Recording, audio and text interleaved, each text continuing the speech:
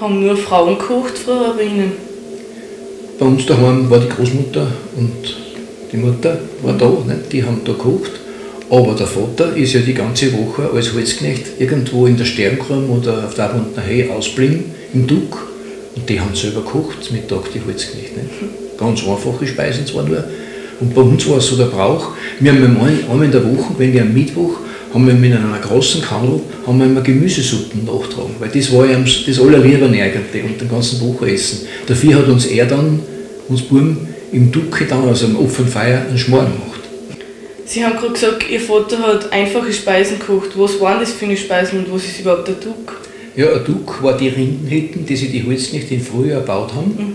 Und zwar war das nicht nur ein gewöhnlicher Unterstand, so wie man es auch bis in die letzten 20 Jahre noch gesehen hat, sondern der war richtig massiv gebaut, mit Rinden deckt, mit der Laften, heißt das in der Mundart. Hinten war zum Schlafen die Bogerrad. In der Mitte ist ein großes Essen gestanden nicht? und drüber war ein großes Gestell, wo man das Holz oben gehabt hat zum Trocknen. Da haben sie auch das nasse Gewand aufgehängt. Und dann in, dem, in die Essummertum waren ein paar so Stangen eingeschlagen mit beweglichen Querstangen.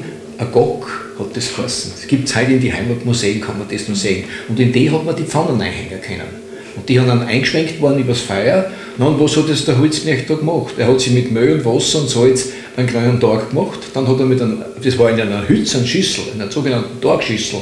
Ich habe es alle von meinem Vater wieder aufgehalten. Die gibt es noch.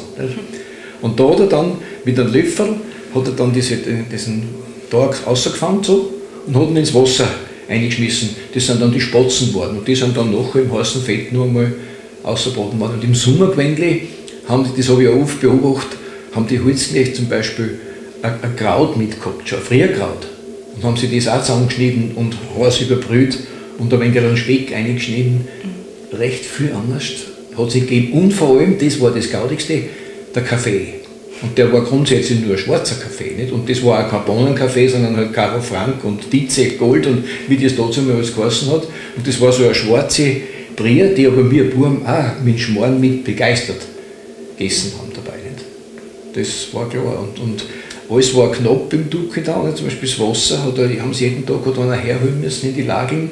Und da ist halt auch sparsam umgegangen worden dann. Nicht? Beim Abwaschen vor allem und solche Sachen. Nicht?